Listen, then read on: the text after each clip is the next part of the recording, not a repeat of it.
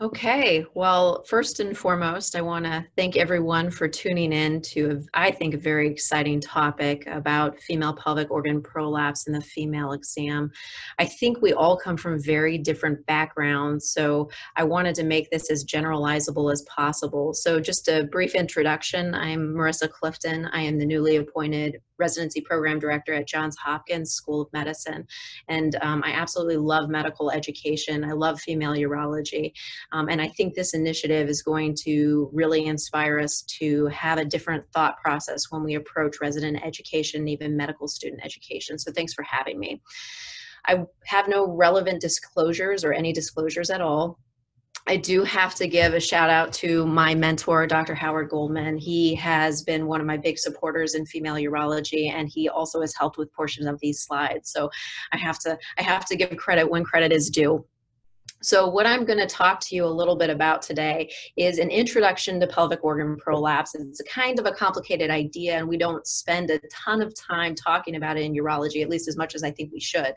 And then we're going to talk about the female urology exam and how important it is. I'm going to introduce you to the POPQ. Some of you may be very familiar with this uh, quantitative evaluation tool, but I think we should become more facile with it. And then we're going to talk a little bit about basics of prolapse management.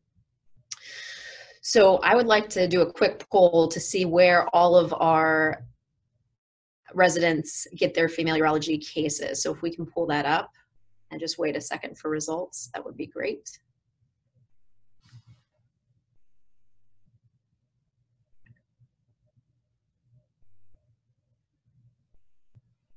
Okay.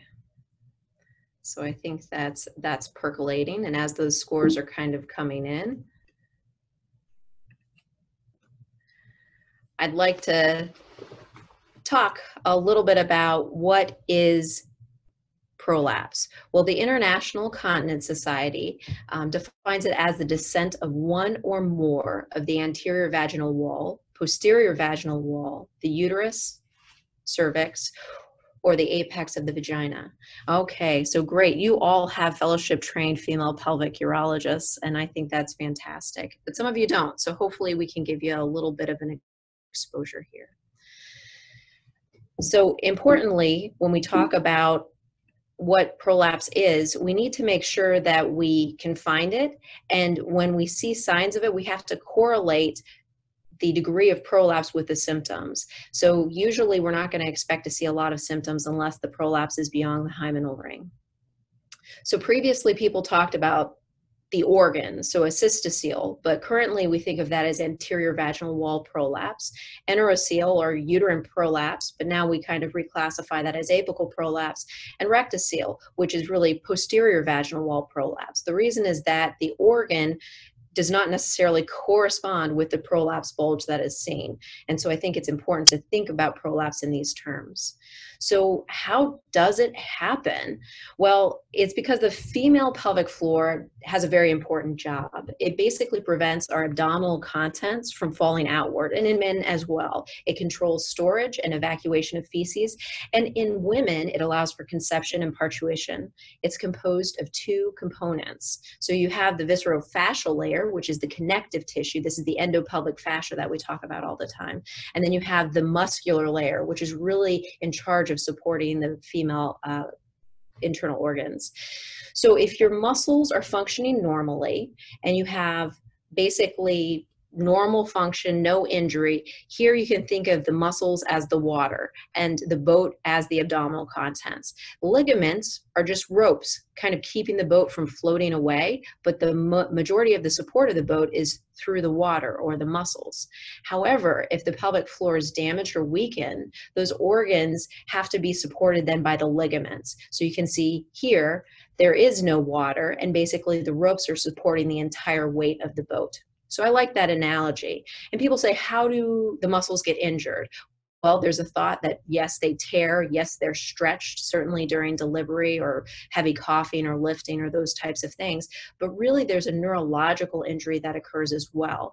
And so this can lead to some kind of muscle dysfunction. And we know that this may not be apparent until years later. So it's important to think about these injuries as long term injuries, not just immediate ones. We know prolapse is common. It occurs in over 50% of women over 50.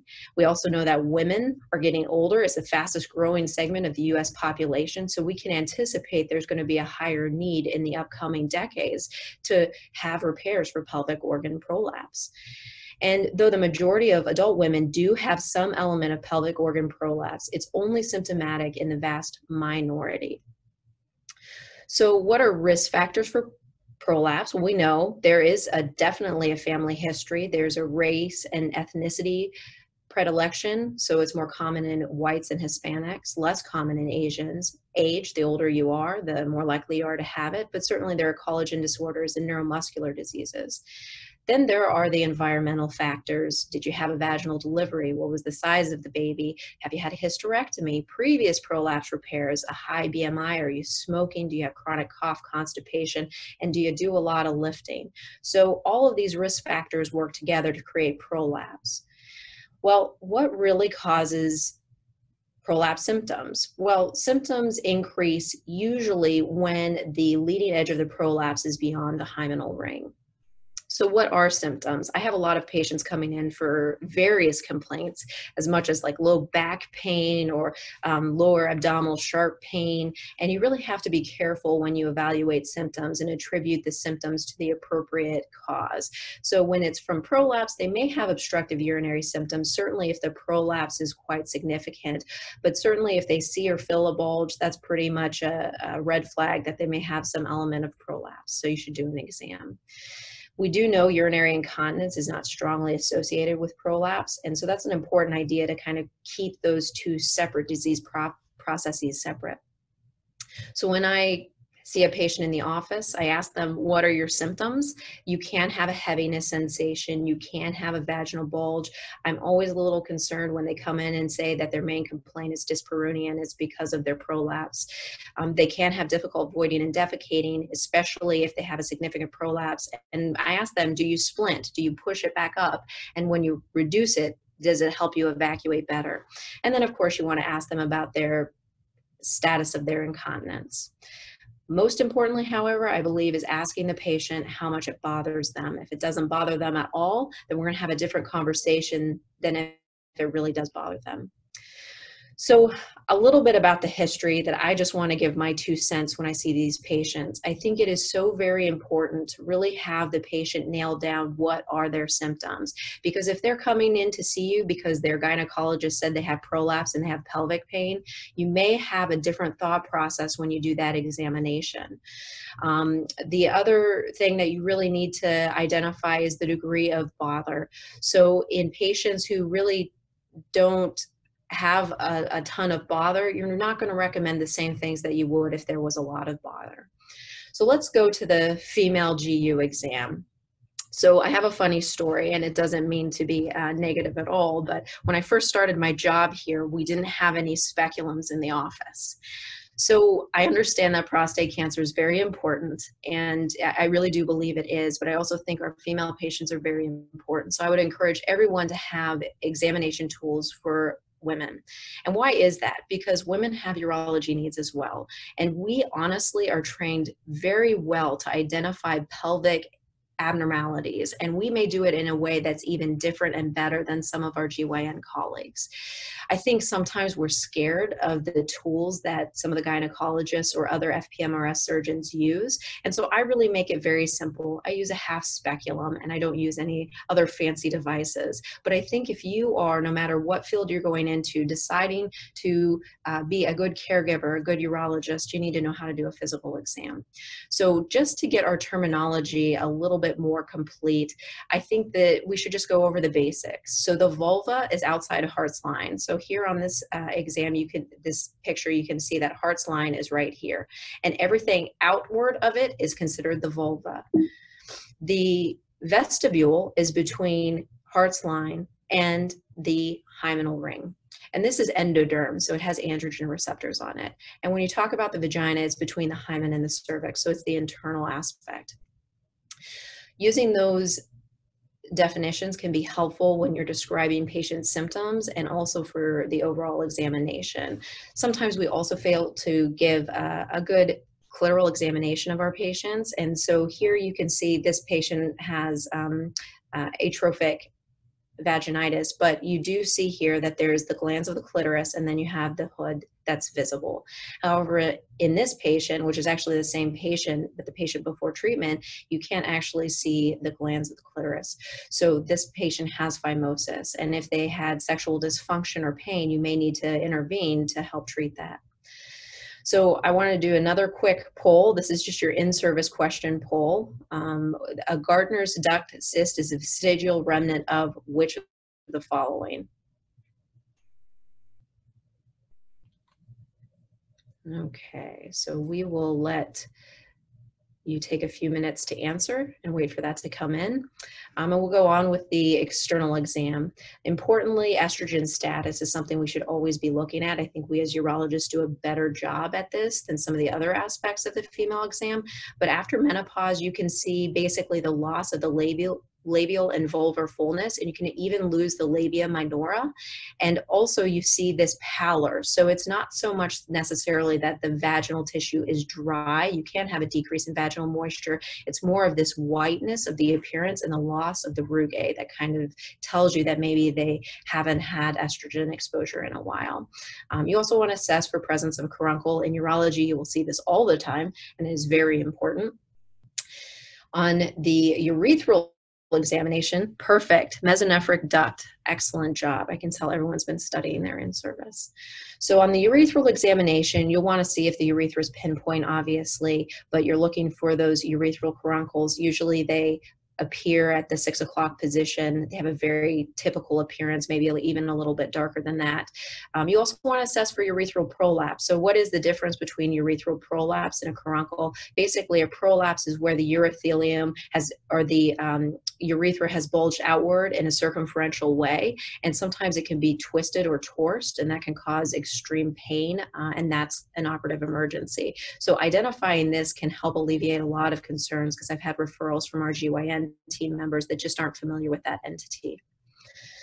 The periurethral exam is to identify are there urethral diverticuli. Also, look at the glands. This is a, Skene's gland cyst that you can see here. It's kind of pushing up on the urethra, and you can see that slit like urethral meatus. Abscesses, and something we don't want to miss is a urethral malignancy, and this is a primary urethral carcinoma. When I do these exams, I also evaluate the pelvic floor. I think sometimes we fail to do this, and you say, well, they're here for prolapse. Why are you going to assess the pelvic floor? Well, if they have very tight levators, I'm going to suggest possible physical therapy before I proceed with a surgery. You say physical therapy, you don't do physical therapy for prolapse. Well, actually, you don't. You're right. You're not going to, you'll maybe help some of the symptoms mildly, and you're not going to cure their prolapse. But what I do it for is to really get them prepared for surgery. It helps decrease their discomfort if their pelvic floor is in appropriate tension. Um, and it also impacts the choice of anti incontinence procedure I may proceed with. Of course, in a female exam about prolapse, you have to assess for incontinence. So you want your patient to cough with a full bladder. If they've already urinated and you've done a PVR, you can do off cystometry, put a catheter in, you fill the bladder up, you can observe if there's a detrusor contraction or not, and then you can have the patient cough and strain with a full bladder. Now, if they don't leak while they are lying down, you need to have them maybe stand up. And in patients with prolapse, it's important to reduce the prolapse with a half speculum. It's really easy to do. And that way you can assess for occult stress incontinence because that will help your guidance as well. I think it is important to highlight you need to recognize what needs to be fixed, and it's just as important to be able to recognize it as it is to know how to fix it. So the prolapse exam, again, I use a half speculum. You can get a lot of information that way, and you don't miss some prolapse because you're fumbling with um, uh, the standard speculum. And it is the most important part of diagnostic testing. This is what tells me what I'm going to do from a prolapse repair standpoint. And you're going to mm-hmm. examine the anterior and posterior walls and the apex and the uterus and the perineal body. I've also found occasionally that when we look, we find that actually a patient that has had a hysterectomy has had a supracervical hysterectomy, right? So they still have a cervix there, um, and they may call it a partial hysterectomy. So you can get a lot of additional information by closely examining the, um, the apex. And if they have a cervix that's in place, you may need to have testing if they haven't had some sort of follow-up testing in terms of um, pap smears. So I think it's a, an important piece of information to have. Again, you're going to reduce the prolapse when you look for stress incontinence. Um, so on this picture, I think this is a good example. If you just look, you can't tell where the bulge is coming from. It's not apparent. It could be, be from the posterior wall, it could be from the anterior wall, it could be the apex. And you can see with basically the half speculum, this is very clearly an anterior wall prolapse. And if you see, my, my mentor actually did a stress test because you can see pooling of urine right there um, on the speculum. And when you look on the posterior wall, it's actually very well supported. So it gives you additional information. So the POPQ, I think, is a very important tool, but for urologists, we're maybe a little bit unfamiliar with it. I think it has a lot of merit, and I think it's something we should become facile with. And the best way to figure it out is to just keep using examples and trying it in practice and it starts to make more sense. So it's a quantification tool. It allows some reliability between practitioners in terms of what we're seeing and you can also compare outcomes after surgery. So it's very important for literature and it creates these standards and I think almost universally people have moved to the POPQ evaluation for pelvic organ prolapse. I think an important aspect to highlight is that you have to quantify the stage based on the most distal compartment. So whatever is the most severe prolapse, whether it's anterior, apical, or posterior, that's going to determine your stage of prolapse when you do your exam, you need to do it at maximal strain. So if you have a patient that's lying supine on a table, you're going to need them to strain to make sure that you replicate what their true bulge is. It also opens up the genital hiatus, so you get a larger value for that, and it may shrink the perineal body. So patients when you're doing an exam, you need to make sure that what you're seeing is what they see. Very frequently, I have patients say, "This doesn't, this isn't what it is. When I'm at home, it's worse than this, or at the end of the day, it's worse than this." So there are a couple of different things that you can do. One, you can have your patient strain. You can put a mirror on the floor, and then you turn the mirror up, and then you and the patient can look and say, "Okay, is this what you're seeing? Is this similar to it?" If they say, "No, it's not. It's not at all like what I normally experience. It's much worse than this," you know, sometimes I have my patients take pictures pictures and send them to me, or I do an examination at the end of the day after the patient's been up moving around rather at the beginning of the day. So when we look at the POPQ measurement tool, we're going to be measuring in centimeters. And we have to remember that the hymen is the fixed point. It's not the introitus, it's actually the hymen. And the plane of the hymen is defined as zero. So you can see that purple arrow there. Any prolapse above that zero is considered negative, and any prolapse below is considered positive. And so that's how the system works. The POPQ tool has six t- points in total. So you have AA, BA, so the anterior wall, you have C and D, which are at the apex, and then you have the AP and the BP, which is posterior, the P for posterior. And those are points you have three measurements. You have the genital hiatus, you have the perineal body, and then the total vaginal length. Again, these are measurements. The important thing about the A point is that this is anatomically defined. It is defined by taking a ruler and basically in the midline of the anterior wall, going three centimeters proximal from the hymen, and then along the posterior wall, going three centimeters proximal. And so you have a defined range of three above and below. So negative three and positive three. So again, it's on the anterior wall, it's the midline anterior vaginal wall, three centimeters above. The reason this point is important is that is thought to be the place where the urethrovesical junction exists. So if you're looking for urethral hypermobility, you're gonna look at the AA point and how the AA point moves. The AP point is the same thing along the posterior wall. And again, it's the range is negative three to positive three. Okay, the B point, this is a little bit tougher to conceptualize. This is a dynamic point. This is a point that we define as the most distal position of prolapse along the vaginal wall. So when it's BA, anterior, that's the anterior wall prolapse. When it's BP, that's the posterior wall prolapse, okay? The value in a patient without prolapse is the same as AA for BA and the same for AP for BP as AP. So it's a negative three value for the B point. And we'll go over this in a couple of different ways to hopefully help solidify some of these ideas. So again, when you're talking about the BA and the BP point, you're talking about a dynamic point, not a defined one on a ruler. It's a moving point. And this is the most distal point of any part of vaginal wall prolapse from the cervix to the point A. Okay, so your value is negative three. If it's no prolapse, it's negative three. However, if you have prolapse, it can range all the way from negative three to positive total vaginal length. So again, the A point's important when you're talking about urethral hypermobility because that's the area of the urethrovesical junction. The B point is important for prolapse. So it's going to tell you the vaginal wall most distal in prolapse. Your C point is the most distal edge of the cervix. When you have a uterus or if it's a supracervical hysterectomy, that's the C point or the leading edge of the vaginal cuff if someone doesn't have a cervix, like they had a complete uh, uh, uh, hysterectomy. So what is point D then? Well, this is the posterior fornix and it corresponds to the pouch of Douglas, D for Douglas. This is really the level of the uterosacral ligament attachment. So this can be important for us when we're trying to determine does someone have prolapse or not? So if you just did an exam and you had your cervix and it was a very long cervix, your cervix may be a negative three. But if you actually go and look at the D point, that is well supported. It's negative eight. And what you would know is that the symptoms of that bulge is actually just a very long cervix. So it may change what you end up doing. It's a subtlety. I know it's sometimes a little bit too much information, but I certainly think it's an important point.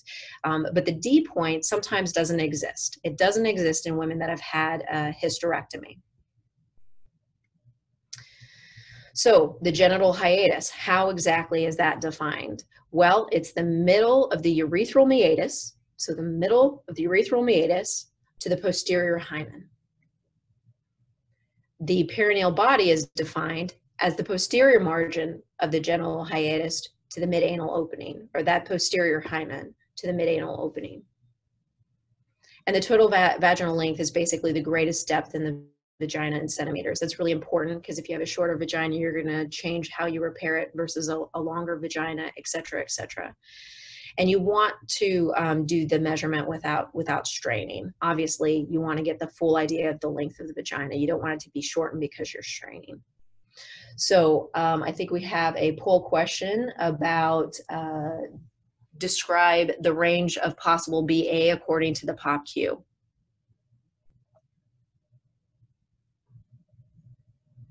This is just to check that that you all are listening and people haven't checked out. The in-service loves these questions. Okay, well, I'll give everyone a quick minute to finish that and we'll keep going. So as those are getting completed, everyone just needs to take a nice deep breath as we look at the grid, the POPQ grid um, this this is the way that we look at the POPQ, and you'll see almost everyone look at it this way. I like to break it down to think of this as, again, these are your points. These are your measurements, points, and these are measurements. Okay, I like it because it just makes sense. It's like you're walking around a, a, vagina. You've got the anterior wall. Oh, then you're at the back, there's cervix. D, and then posterior wall. So that's how, how I kind of remember the order of the grid. And remember, these are all measurements. Um, so they're calculated. So a little bit about prolapse stage because it can be slightly confusing. When you think about stage zero is basically there's really no prolapse or there's maybe one or two centimeters of something maybe moving a little bit on the apical um, side of things. So zero is considered perfect. The only time it's going to be perfect is maybe when you're born. Otherwise there's usually some degree of laxity. So what is stage one? Well it's highlighted here in this orange box and um, stage one basically is any amount of prolapse up until negative one centimeters from the hymen. Hymenal ring right here. This is negative one. Anything above negative one is considered stage one. Stage two, including negative one all the way to positive one along the hymenal ring. Okay, that's considered stage two.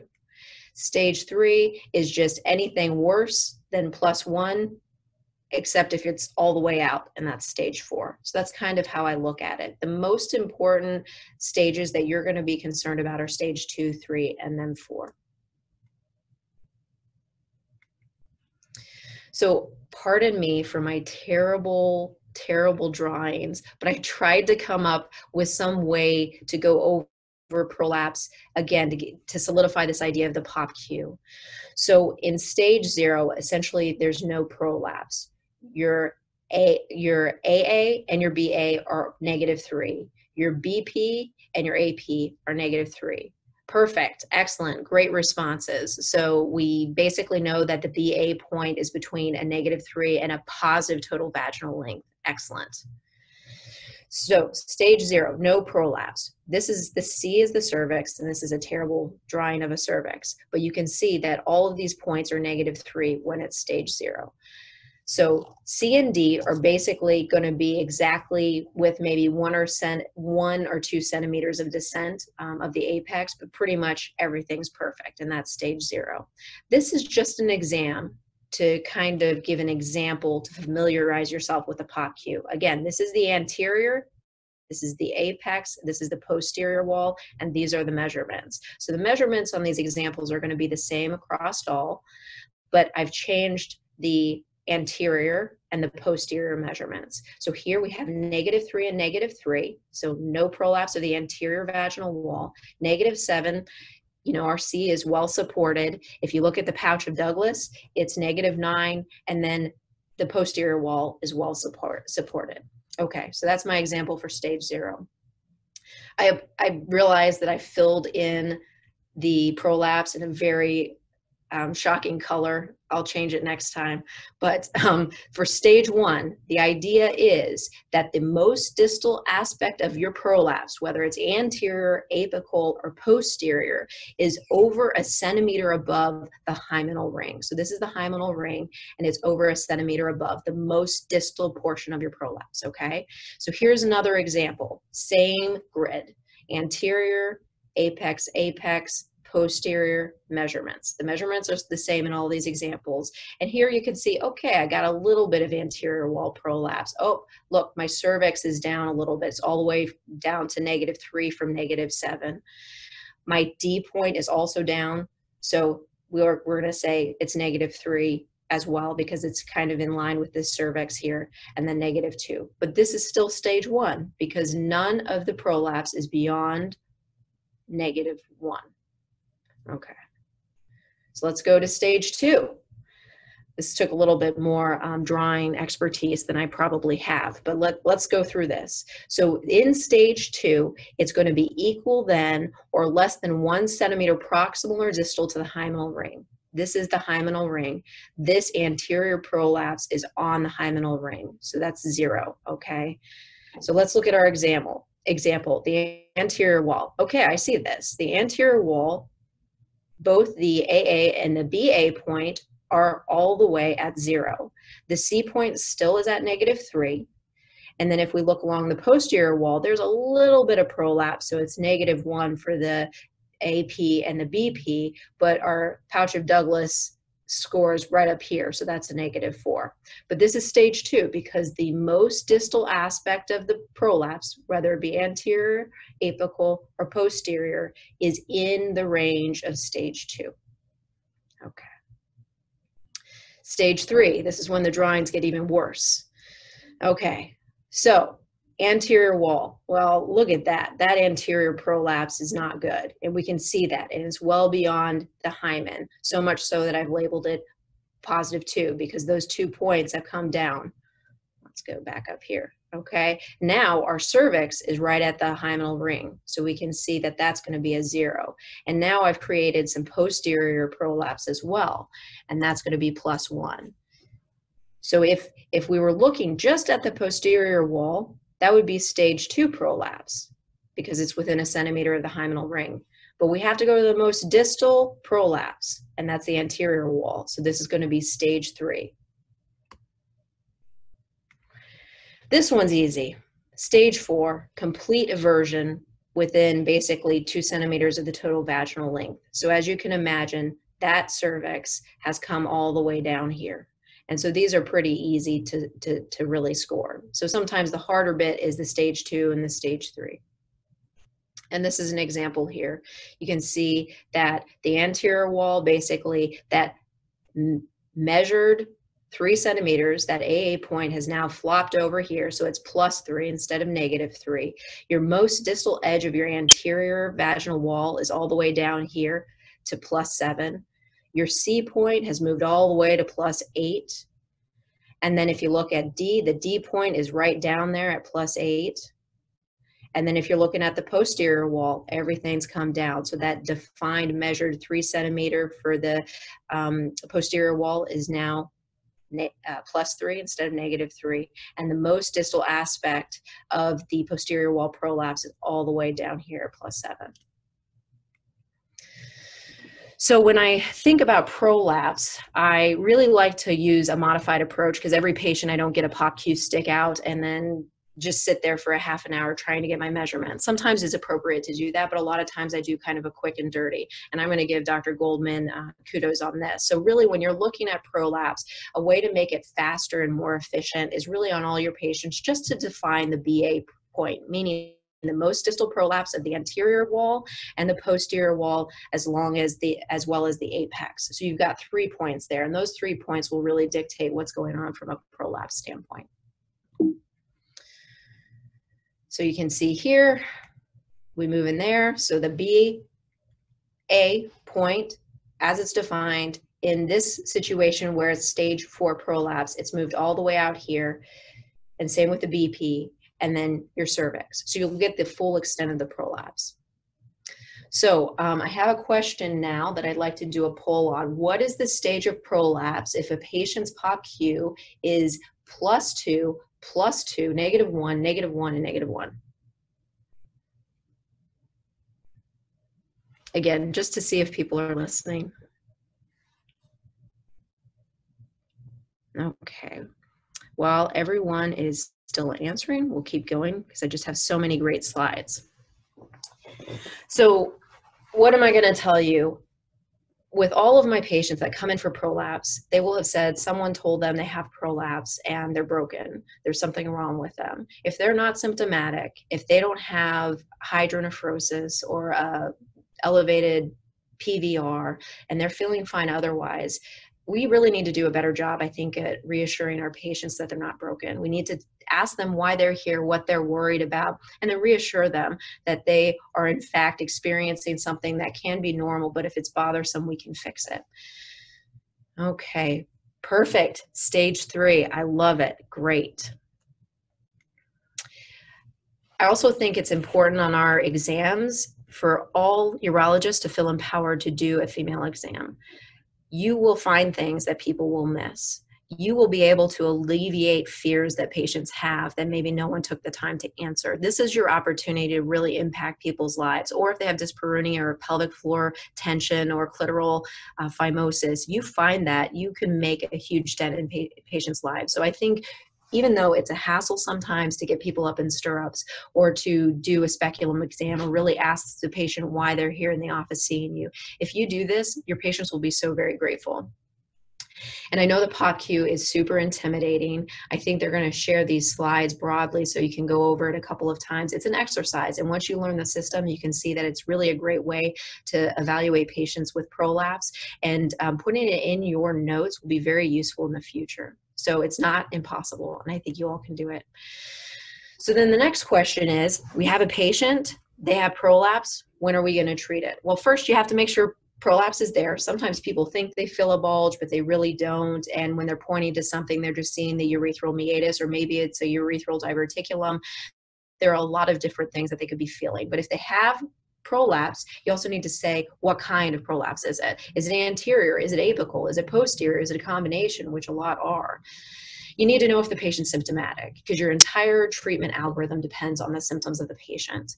If the patient's symptomatic, you want to know how much is it bothering you. So much so you want to do something about it, or you just wanted to make sure it wasn't something bad and you want to watch it. So that conversation needs to happen. You also need to make sure they don't have hydro or obstruction. You can get kinking of the ureters bilaterally, and you can't have renal failure from this. And I'm sure we've all had hospital consults where someone has come in with severe prolapse and then has an elevated creatinine and bilateral hydro and then you may just need to put a pessary in or get them set up for a really uh, some sort of procedure. And then fundamentally what does the patient want to do? That dictates exactly how you're going to proceed.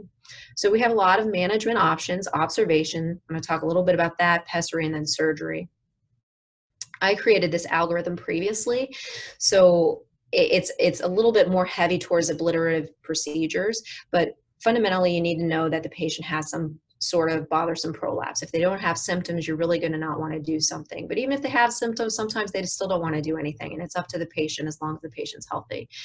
But you want to maybe consider a conservative measure such as a pessary trial. You notice that physical therapy isn't something we frequently institute. There is some benefit, and sometimes it can decrease some sensations for patients, but it really doesn't reverse prolapse when you think about okay they've tried a pessary they either like it or don't. If they don't like it and they're interested in surgery i like to have another breakdown. Some of my patients are much older and not with partners and aren't interested in sexual activity in the future. And in that case i can break it down further. But for a lot of you again, it's important to make sure they're not interested in sexual activity, not just not sexually active.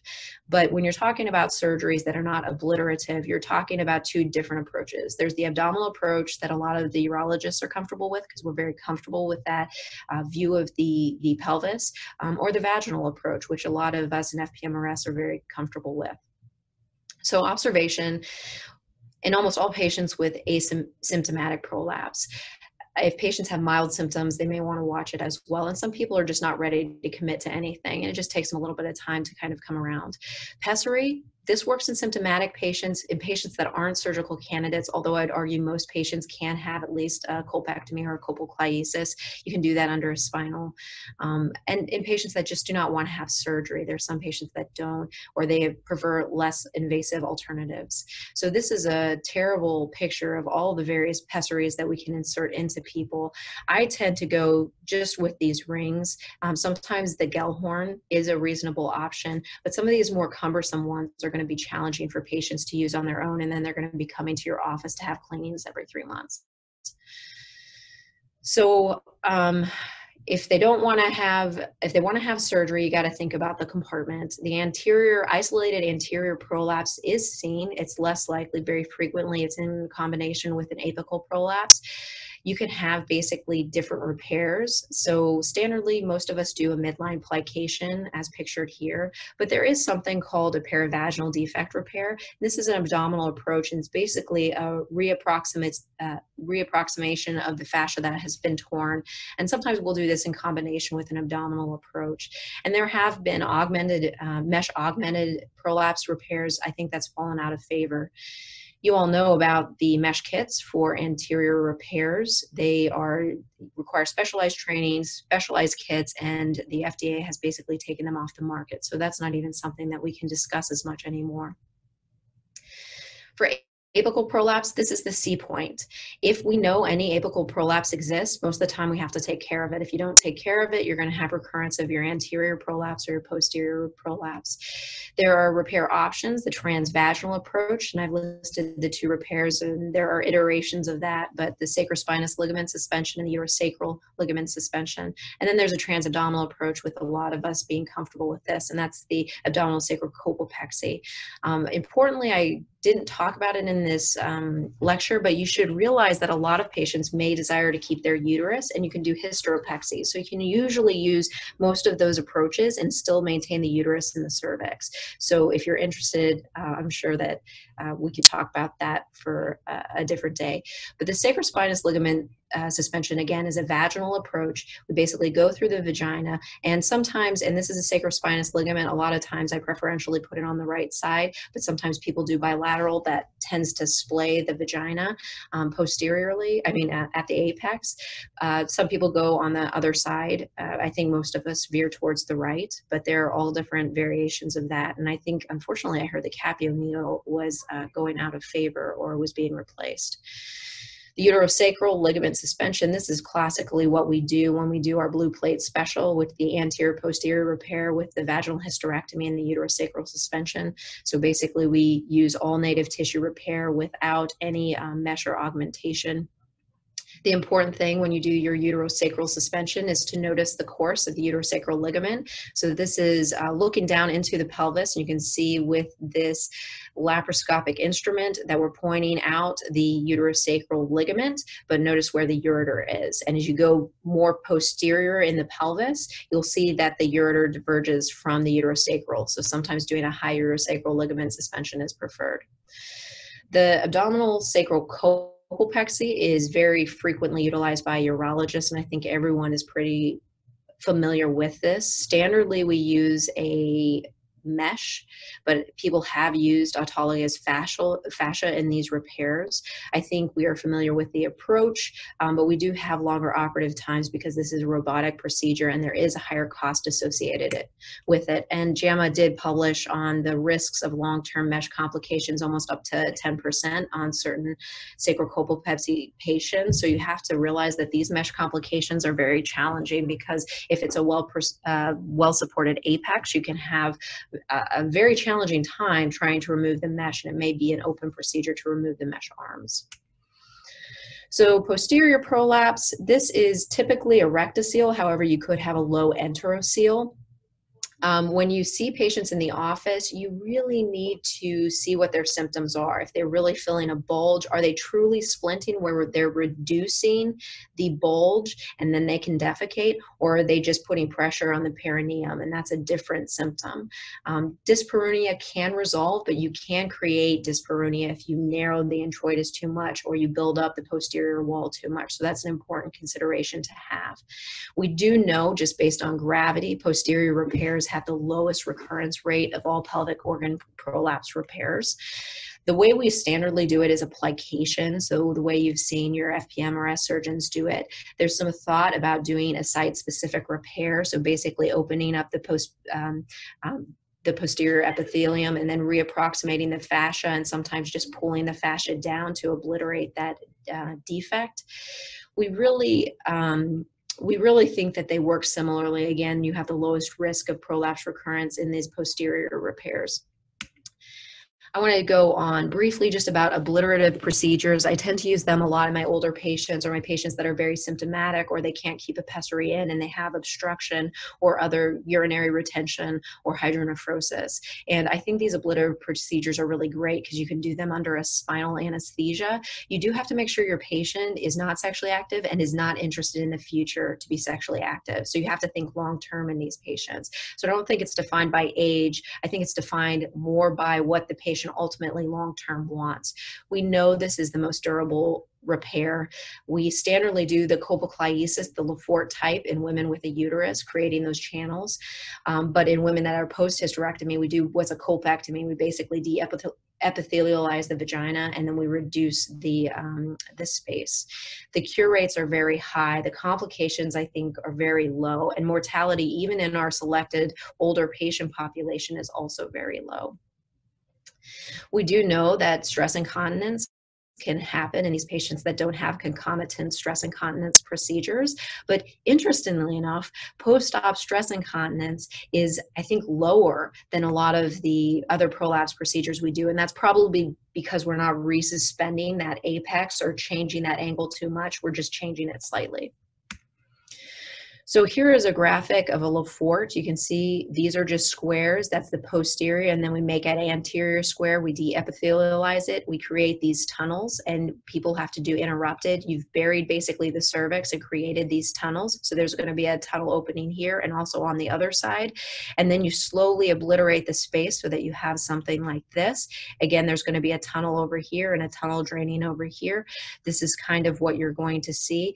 This pictorial representation is not 100% accurate because what they forgot to do in this is create your perineal body repair, which I think is the main aspect of the repair that we have to focus on when we do this. So I spend a lot of time rebuilding the perineal body, almost doing a levator myorrhaphy or pulling the sides of that vagina in to make the introitus very, very small. That way, if they do have prolapse recurrence, the introitus is small enough that you're not going to have symptoms from that bulge coming through, but you need it big enough so you can see the urethral meatus.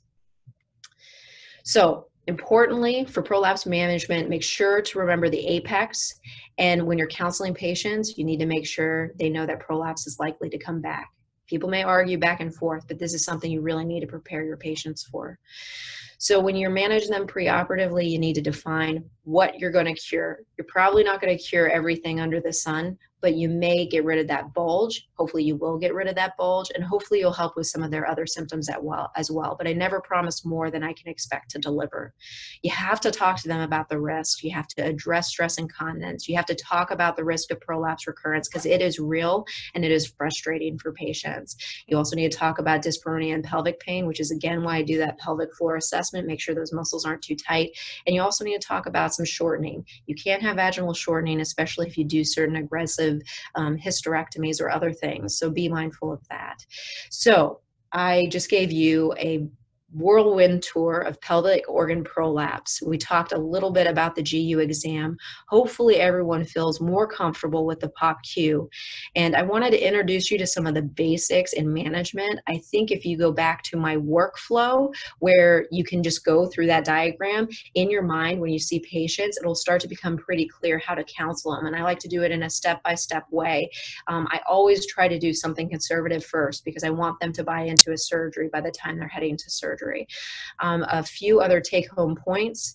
So I have harped on this. Please do a GU exam on, on your female patients with GU complaints. It is very important and you're going to find things that others may have missed. The POP-Q is important, it's scary, but if you keep practicing, you'll be able to do it and do it well. Treatment of your prolapse is based on the patient bother. It's not what you see, it's not what someone else sees, it's what the patient says. And always counsel your patients, like any quality of life patient, on what is a reasonable uh, expectation and outcome. And they had me put this, um, this picture up so that everyone can make sure to take the survey. Okay. I guess I've got some questions maybe. Right. Yeah. Thank you, Dr. Clifton. That was an excellent talk. Um, one of the comments was, this was the first time I've understood the POP-Q after having explained over and over for three years. So um, that was one of the comments that was submitted. Um, but people have a couple of questions um, specifically about how you perform your measurements. So some of the questions were, you know, in terms of your technique in, in measuring the different compartments in your clinic, what instruments and tools do you use besides the speculum? Um, and there was a question, you know, specifically, how do you measure your total vaginal length with or without the prolapse reduced? Um, so just a little bit more about how you perform your measurements. Oh, these are all very good questions. I think first and foremost, figure out what your clinic has available. If they have the old metal speculums, you can detach the metal speculum and just use the the, the bottom part of it. And then I get two of them. So I, I get like a half speculum in each each hand and then I use that because I can slide one out and push one back in and slide one out and push one back in. The other thing is don't use the biggest speculum you can find, right? So sometimes if I have a new nurse that comes in, she's giving me like this ginormous speculum and this poor woman, I'm just make sure you have the right tool when you're starting. And so I like usually the medium sized one, sometimes the small one if I have a woman that has a lot of uh, sensitivity, but medium size. And I take both of the tops off and then I'll use the bottom half and just kind of use that as a way to see the prolapse because you can really then define is it the apex falling down? You clearly, as you're pulling the top back, you can see the cervix drop down, or is it anterior, is it posterior? And it allows you a lot more mobility than this the fixed speculum. So that's what I generally do from just getting the POPQ. Again, I tend to do that abbreviated POPQ. They have the sticks, the POPQ sticks, and you can order them from any distributor. And it's really nice. It's got the centimeter markings on it. So when I'm doing the vaginal length, I have the patient basically lying down flat. And then I don't have them strain, but I put a little bit of pressure. So basically I take the POPQ POPQ stick, I push it in so they feel a little bit of pressure because I really want to know the total vaginal length really is how much length of vagina do I have to work with for my prolapse repair. So I don't want it to be artificially short because that'll change my counseling. I want to get an idea of really what the, the vaginal length is. So that's why I put a little bit of pressure in to get that full length to the hymenal ring. Um, uh, and those are mostly the tools. I use a little bit of a lubrication. I don't do office cystometry that much. I tend to have them hold their urine until they come in for the exam. And then what I do is I take that half speculum, I push it in just posteriorly. You don't want to push up on the bladder because that's going to artificially possibly obstruct the stress incontinence. You're going to push in gently and just hold it there with a finger. Always stand to the side, right? Stand to the side.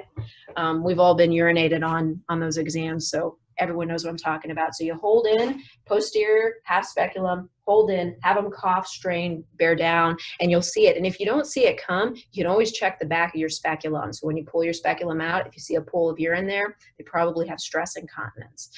Now, if I'm checking when they complain of it or a bowl bulge and I don't see it on an exam because sometimes these patients have had pessaries for a very long time or they come in at the beginning of the day and you're not able to see it. I have them together. I say, This is going to be a strange exam. I always have a chaperone in the room. It's going to be a strange exam. I have them put a gown on and then I have them stand up and kind of put their legs apart and squat a little bit. I take that mirror, I move it in, I put it right underneath their legs, and I say, I know this is strange, but we just want to are seeing. And that way they do the exam together. We sometimes make a little bit of a joke about how you never thought you'd be here like this. Um, and, and, then usually the patients are pretty comfortable with it. But a lot of times they want to know what's going on with them. So they want you to get a really accurate picture of what they're seeing. So they'll feel comfortable doing that. And then on your exam, can you go through a little bit more in detail how you assess the pelvic floor musculature? Uh, what yeah. you do on the exam there? So I am so glad someone asked. I wasn't going to give a talk on pelvic pain because I don't believe that we want to spend the whole time talking about pelvic pain. But this is going to be another soapbox. I don't have a slide, but it's a soapbox. A lot of women that come in have basically, and men too, we have not realized that our pelvic floor exists for a very long time or ever. And so the first time my patients hear about their pelvic floor is when I'm telling them, when I'm having a conversation with them. Um, and when I'm having a conversation with them about their pelvic floor, they're like, this makes sense. But you have to prove to them it exists. So when I do my exam, I don't have a speculum in there or anything. I put gel on a, a gloved finger and I tell them, this is going to be strange. I'm not going to be pushing on your bladder or your urethra or your rectum. I'm going to be pushing on the muscles of your pelvic floor. So what I do is I put my finger into the vagina And then I go up at kind of the two o'clock and the 10 o'clock position. And then I put my finger pretty much all the way in, hugged gently though, because you always want to be gentle. You don't want them to clamp down because then you're never going to get your exam. And then I push my finger up and I'm putting pressure and then I pull towards myself along that sulcus and you'll feel these bands. It's almost like a, a, muscle string, a back spasm, a knot. So sometimes you feel stranding, sometimes you'll feel a knot, but a lot of times you figure it out by looking at your patient's face. So I'm never looking at my hand when I'm doing the exam. I'm actually looking at my patient's face. So as I'm doing the exam and pulling out towards the hymen, I'm looking at her face. And when I see her go, I say, okay, we've got a problem. It shouldn't feel that way. So even my most stoic patients can't really prevent that automatic reflex. And that's how I kind of identify. And you have to do it anterior, laterally, and posteriorly because there are different groups that can be in spasm. It may not be the whole pelvic floor, it may just be one aspect of the levators. Great. There was a couple of questions that came through over a little bit of uh, confusion still regarding this C and D points uh-huh. um, in terms of how. so one person asked, you know, why is C still used um, after a hysterectomy? And then in terms of kind of determining whether there is an elongated cervix, and if you determine there is an elongated cervix, um, how do you counsel and address those patients differently? Okay. So excellent. Yes, I'm glad. It seems like people were listening because you start thinking about all these weird small points to the POP-Q to try to make it make sense. And this is how you're going to make it make sense to you. You're going to use it over and over. You're going to ask these questions, and then it starts making sense. So the D point is basically where the uterosacral ligaments kind of suspend the apex of the vagina and because it's the pouch of Douglas, that only really exists if you have a uterus and a cervix present.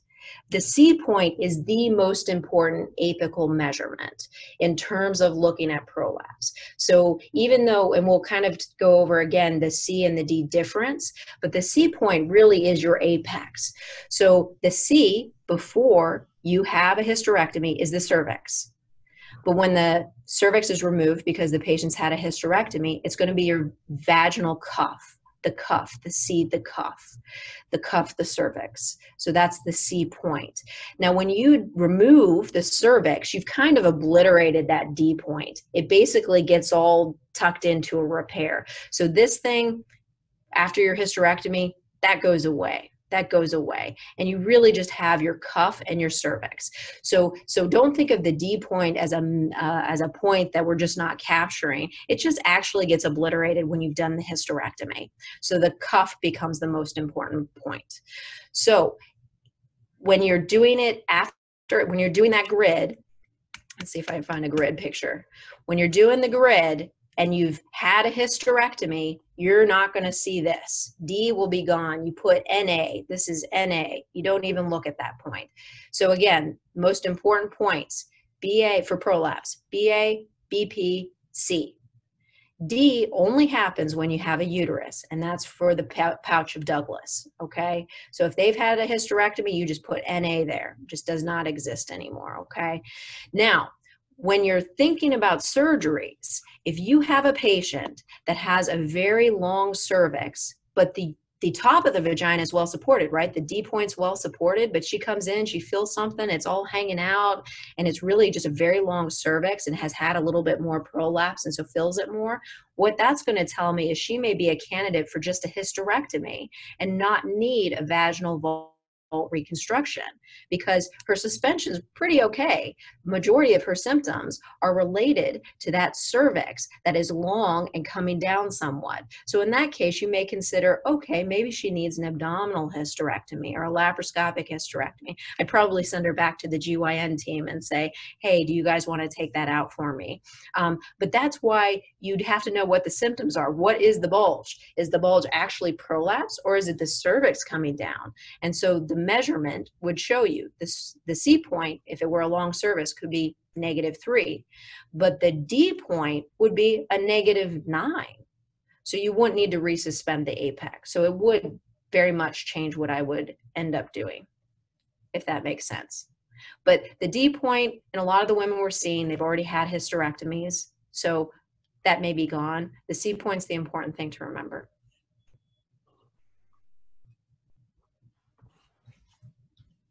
Hopefully Great. Um, yeah, so then just I don't know how much time we have left, but then there was just a few quick questions on the external genital exam again. Someone was hoping that you could just um, elaborate a little bit on what a caruncle is and what is its clinical significance and how to address and treat it.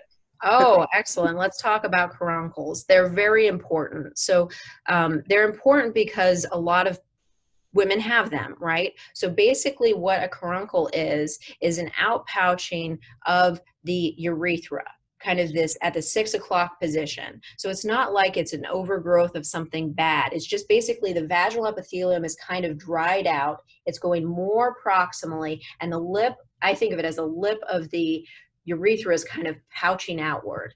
And so what happens is when you have an exam, sometimes you can have bleeding. So people will have blood in their underwear. They can have irritation with sex. they can just have plain irritation or they can have an exam and someone notices it and so that's kind of how they present the treatment is vaginal estrogen so vaginal estrogen does a really good job of softening that tissue. It may not get rid of the caruncle 100%, but usually it, it, causes it to shrink quite a bit. And then you feel comfortable. When it shrinks with vaginal estrogen, you say it's probably not something bad. However, if you have something that's discolored and it's not shrinking with vaginal estrogen and it's bleeding or it looks odd, you may have to biopsy to make sure it's not something else but they're classically at the six o'clock position. They're they have this very classic appearance. Sometimes it's a little bit darker pink to purple.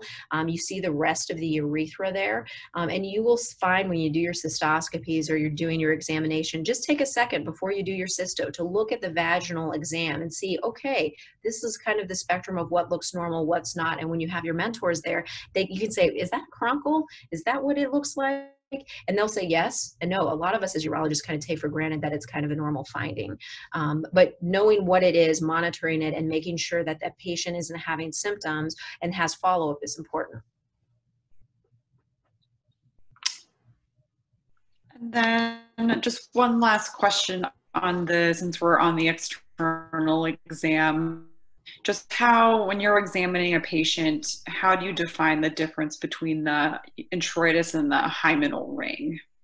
Oh, the uh, the introitus is just the opening of the vagina. It's pretty vague. The hymenal ring is very defined. So when you do your pelvic exam and you're looking, you will see the hymenal remnant. That's going to be in a circle. It's always going to be the same way. The introitus is kind of people think of the opening, and I don't really talk about an introitus other than the whole picture. But the hymenal ring is very clearly defined by the remnant. So you'll see maybe not the intact ring, but you'll see portions of it and that'll define the hymen. And that's what you look for. And you can do that during your exams when you're doing your prolapse procedures with your faculty. You can say, hey, show me exactly where that hymenal remnant is. And then it just starts to be kind of commonplace. And then you'll be doing that on exam and you'll reference everything to the hymen. Great. All right. Well, thank you to both of you, Dr. Clifton and Michelle, for an awesome session, really high yield. Um, just a reminder to everybody, we've got a survey on our website, uh, and we're going to be putting up the slides, the video, and, and re any remaining Q&A on there when we're, when we're through with it. So thank you both so much, um, and we'll see you guys tomorrow. Thank you. Thank you. Bye.